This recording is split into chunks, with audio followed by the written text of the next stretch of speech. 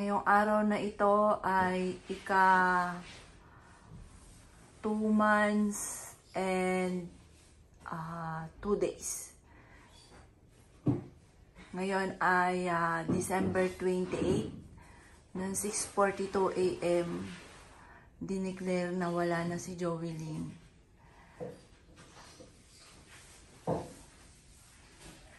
December 28, 2 months and 2 days. Yan. After 9 days na pagkakaroon ko ng vertigo, ngayon lang po ulit ako nakapasok dito. Yan. Nangako nga po ako na pag ako'y gumaling na, ako po ay ililipat ko na yung anak ko sa columbarium. Pero ngayon, nang pumasok naman ako dito, parang hindi ko pa kaya na si Jovelyn ay malayo. Kaya parang biglang ako nagdalawang isip na parang gusto ko pa siya pagka, kasi parang lagi ako nasa sementeryo kapag ka namimiss ko siya, pupunta kami doon. Pero kung nandito siya, nandito lang po siya. Bibigyan lang po siya ng bulaklak. Ayan. At saka, sisindihan ng kandila.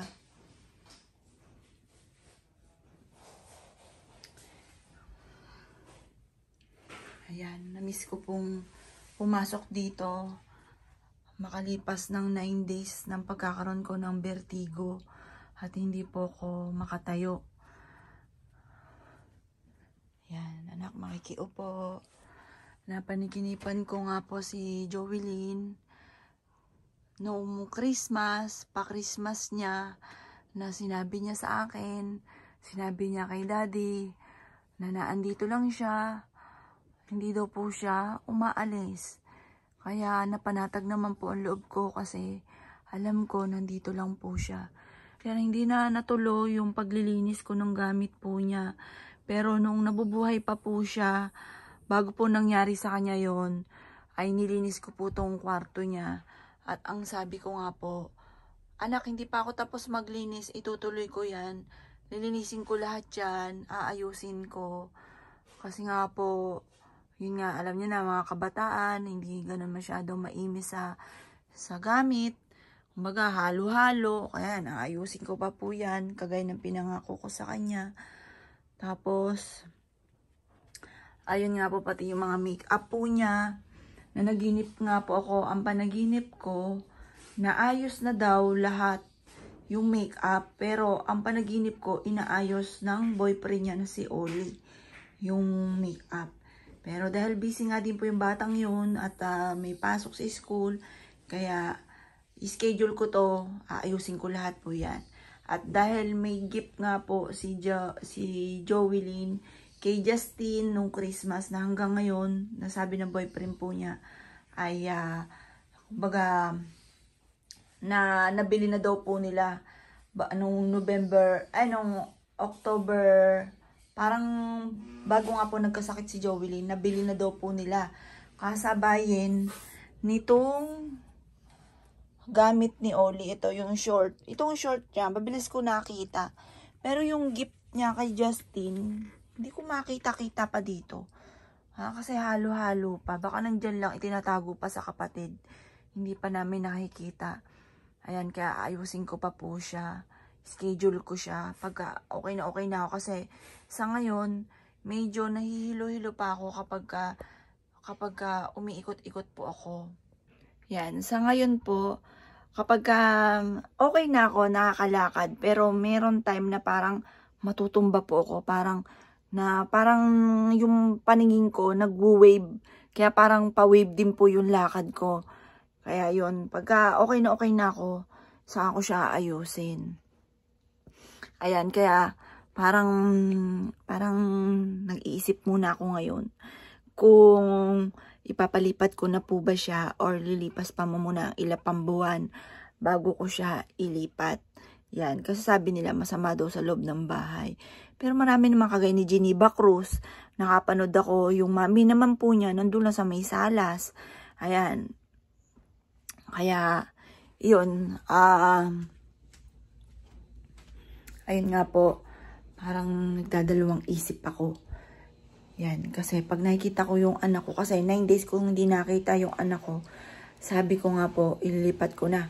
Pero nung nakita ko ngayon, parang nagdadalawang isip muna ako kung ililipat ko na talaga. Kasi parang gusto ko siya, masaya ako pag nakikita ko siya dito. Hindi ako natatakot. Pero yung iba, sila natatakot. Pero ito si Candy, yan. Yan po si Candy. Yan po yung utak ng ano. Silang dalawa ni Jovelyn ang magkaututang dila kapag ka magre-receive ng kung ano-ano. At saka maghuhulog sa mga Gcash. Yan, si Candy ang nakakaalam po niyan. Kaya si Jovelyn hindi nagpaparamdam kay Candy. Kasi kawikaan, ito yung kanyang runner. Kaya hindi rin siya na matatakotin si Candy kasi hindi nagpaparamdam. Pero ako naman, kahit magparamdam si Jovelyn, hindi ako natatakot. Parang bigla ako nagdalawang isip na parang mapalayo sa akin si Jovelyn. Kasi pagka namimiss ko siya, lagi kong yayakagin si Joel at saka si Justin sa sementeryo kapag wala na dito si Jovelyn. Kaya parang nagdalawang isip ako kung ito ay ililipat ko na. Kasi parang pagka namimiss ko siya, makita ko lang ang pinakamaganda kong anak. Parang nawawala na yung, parang di ko kaya mga bossing ka na ito po ay mapupunta na siya sa columbarium. Yan. O anak, ay anak, anak tuloy eh. Tita. Okay, hindi tita ko muna. Ayan, pa, paano naman yung anak ha? Yan. Si Candy po dito ang ang pangkalahatan mga bossing.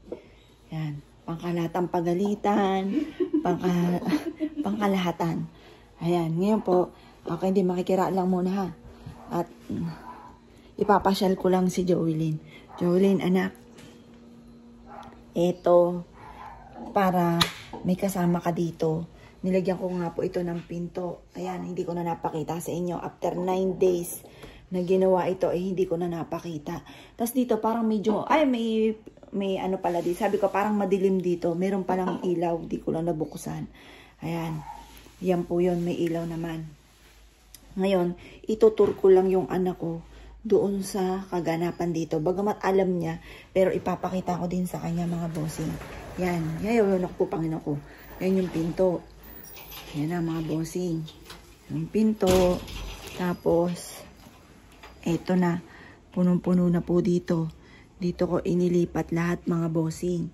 Yan. Ngayon, hindi ko alam kung saan dito po pwesto sa pagla-live kasi apaw na apaw na. O, ito anak, itutur lang ito anak. Ayan, tutur ko lang. Yan, ito po, o, anak, dyan ko nilagay yung kitchen. Yan. Tapos, dito yung mga metal. Ayan, punong-puno po kami. Dito po, yung sa online namin, sa loob ng bahay, mga bossing. Bukod syempre doon sa highway, doon sila nagla-live. Ngayon, nag-iisip pa ako dito ng pwesto ko na mauupuan kahit kapranggot. Yan. Tapos, dito yung mga yung mga kristal. Ito yung mga angel. Yung mga elephant. Ito, isa sa mga pinaka-paborito ko. Ito, mga bossing, mga berries. Alam niyo po ba yung mga berries na yan? Kasaganahan ang dulot. Ayan, magtitinda na agad ako. Nagbibideo pa lang pala ako mga bossing. Ayan, nagbibideo pa lang ako ngayon ng pang-upload. Ngayon, di po muna ako magtitinda. Pero kung may maiibigan kayo dyan, aba, abil na po kayo. O, eto po. Eto mga bossing ko, ang isa sa mga utak ng uh, pagdating sa usapin ng negosyo, mga bossing yan yung anak ko si Joey, sa kanya nagsimula ang 5,000 pesos, maswerteng pera. Kaya dumami na po ito ng dumami mga bossing. Tapos ito yung mga mutya natin. Yan, mga keychain. Yan. Yung iba, hindi na nagkasya, wala namang paglagyan. Tapos mga Lucky Charms bracelet. Ayan po mga bossing. Tapos yung ating continuous lock. Yan, sama-sama. Naka-organize naman lahat feeling ko mga bossing ko dahil nagkaedad na nga po ako mga bossing ay uh, dahil ilang araw po ito na yung paglilipat, pag-aayos. Yan na sobrahan po ako sa pagod mga bossing ko sa mga panahon na yon yan kaya ako ay nagkaroon din ng vertigo tsaka iyak din ako ng iyak. Tapos ayun nga po isip ng isip sa anak ko di ako makapaniwala na wala pa rin Pero ngayon, unti-unti ko naman pong natatanggap dahil wala rin naman ako mga magagawa, mga bossing.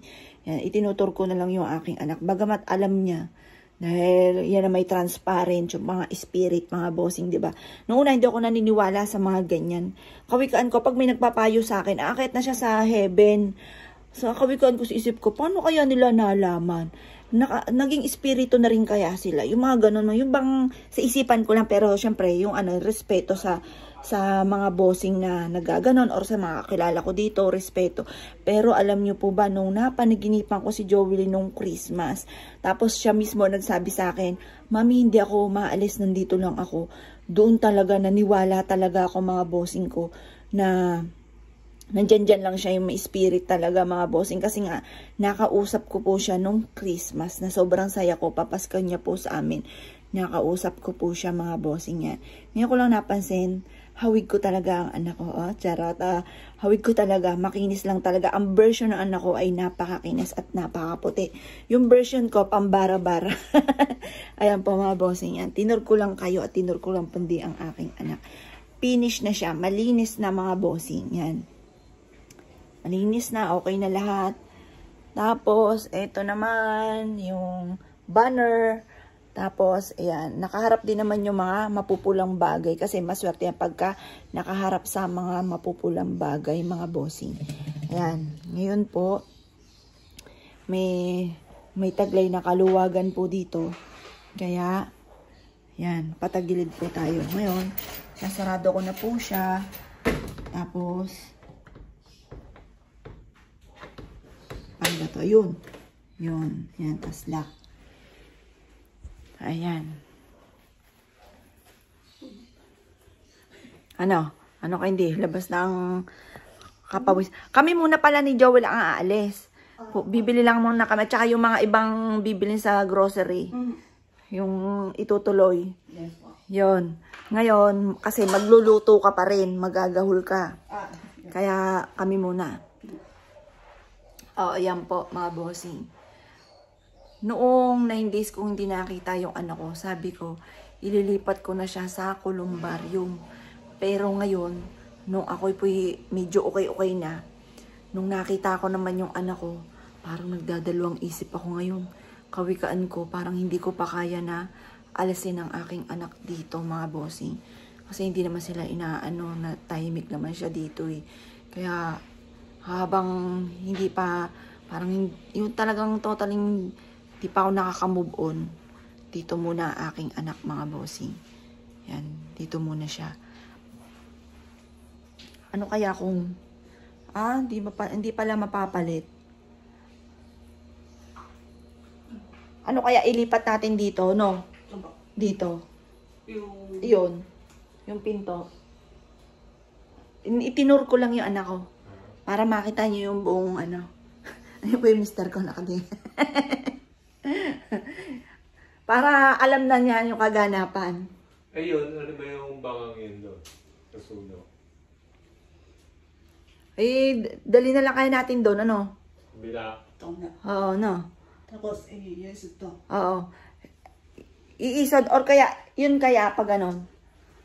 Dito, pag ganon. Para doon, luwag. Pwede, pwede. Na, kaya naman na, ano? Okay. O siya, sige. Yan. Pinakikilala ko po sa inyo si Candy. Yan po ay ang pinakamasipag, pinaka, pinaka sa lahat.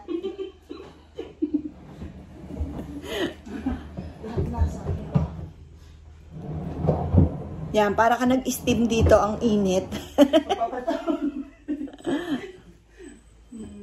Tanggalin yung ulit bangang. ah, anak, dito ka muna anak ha. Ayan. Okay nga po, gandang anak. Diyan ka muna anak.